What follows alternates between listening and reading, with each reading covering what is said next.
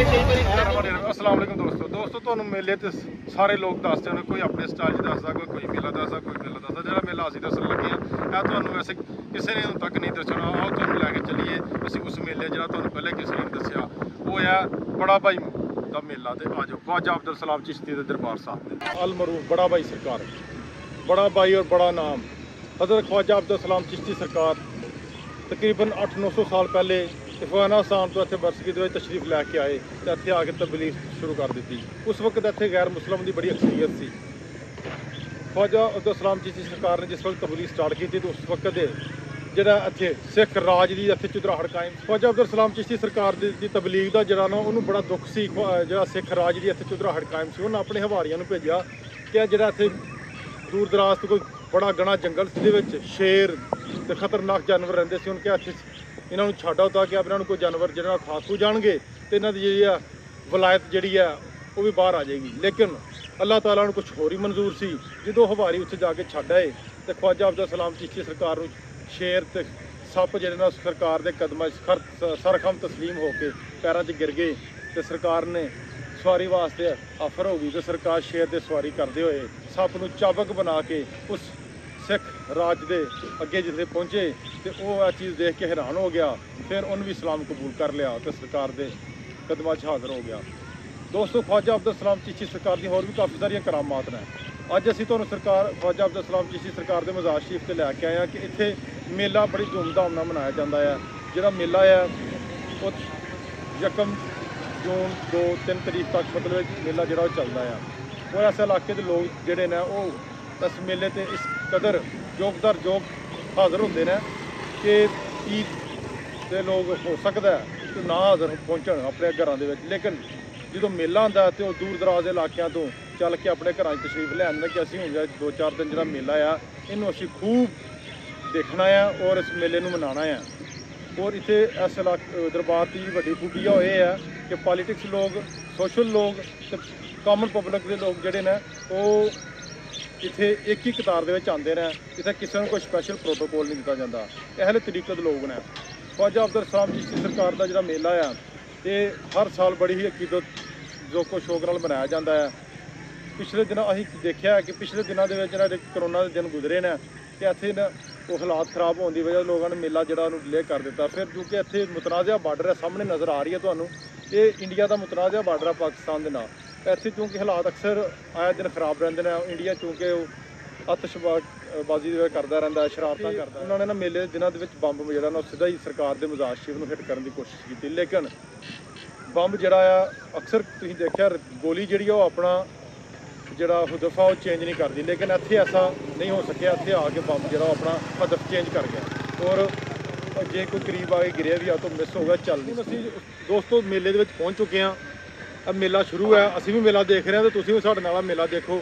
ਇਹ ਮੇਲੇ ਦੇ ਵਿੱਚ ਬਹੁਤ ਜ਼ਿਆਦਾ ਰਸ਼ ਹੈ ਇਸ ਤਹਿਸੀਲ ਦਾ ਜਾਂ ਡਿਸਟ੍ਰਿਕਟ ਦਾ ਕਹਿ ਲਓ ਕਿ ਸਭ ਤੋਂ ਵੱਡਾ ਮੇਲਾ ਹੈ ਇਹਦੇ ਵਿੱਚ ਸਰਕਸ ਦੋ ਤਿੰਨ ਕਿਸਮ ਦੀ ਆਈ ਦੀ ਆ। ਮੌਤ ਦੇ ਖੂਹ ਚੱਲਦੇ ਪਏ ਨੇ। ਜਿਹੜੇ ਝੂਲੇ ਨੇ, ਉਹ ਅਲੱਗਾ ਚੱਲ ਰਹੇ ਨੇ। ਜਲੇਬੀਆਂ, ਮਠਿਆਈਆਂ ਅਲੱਗਾ ਅਲੱਗਾ ਹਰ ਬੰਦੇ ਨੇ ਆਪਣੀ ਆਪਣੀ ਦੁਕਾਨ ਲੱਗਿਆ ਖਿਲੌਣਿਆਂ ਦੇ ਅਲੱਗਾ ਬੈਠੇ ਨੇ ਔਰ ਆਪਣਾ ਆਪਣਾ ਜਿਹੜੇ ਮਦਾਰੀ ਆਪਣਾ ਕਰਤੱਵ ਦੱਸ ਰਹੇ ਨੇ।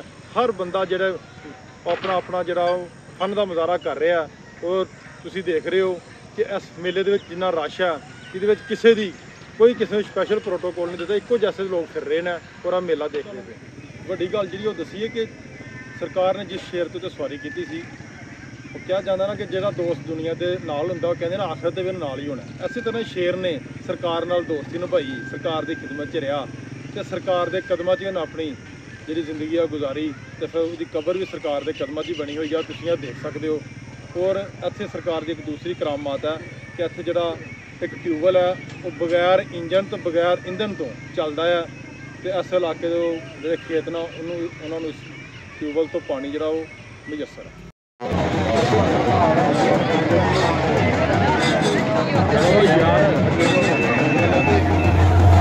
Oh, yeah.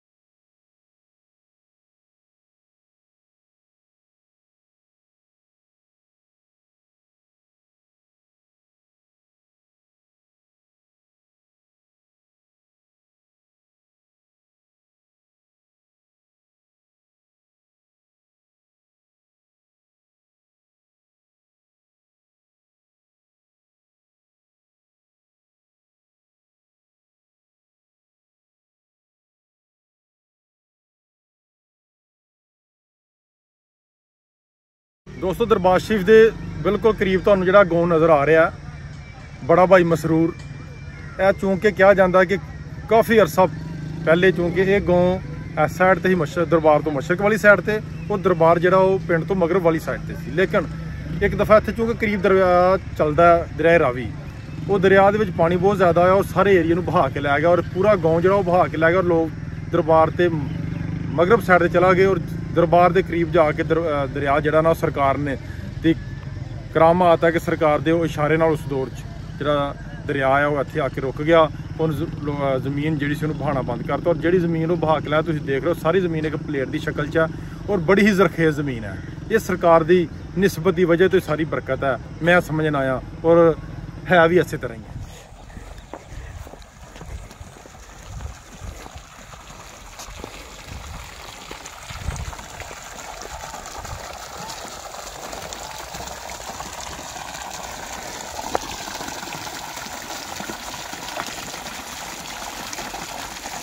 ਕਿੱਧਰ ਕੀ ਕਰਨਾ ਹੈ? ਤੈਨੂੰ ਪੈ- ਜੁੱਤੀ ਲਾ ਕੇ ਇਧਰੋਂ ਦੀ ਹੋ ਜਾ। ਲਾਈਟਾਂ ਵੀ ਚੱਲ ਗਈਆਂ ਨੇ ਪਰੇ ਪਿੱਛੇ, ਇੰਡੀਆ ਵਾਲੀਆਂ।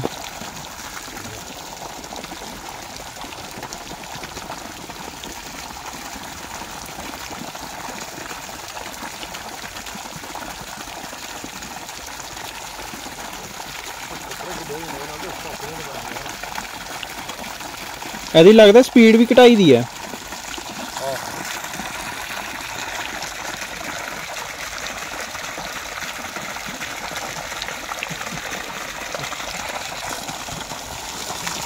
ਹੈ ਲਾ ਮੂੰਹ ਯਾਰ